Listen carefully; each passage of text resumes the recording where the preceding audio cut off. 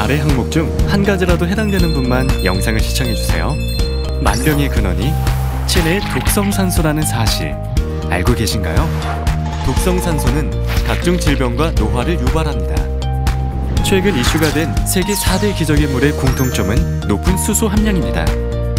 수소는 다른 항산화 물질에 비해 높은 항산화력을 보유하고 있습니다. 세계적 의학 잡지 네이처 메디슨은 수소가 독성산소에 결합하여 물로 만든다고 발표하였습니다. 수소는 입자가 작아 뇌세포까지 도달하여 독성산소를 제거합니다.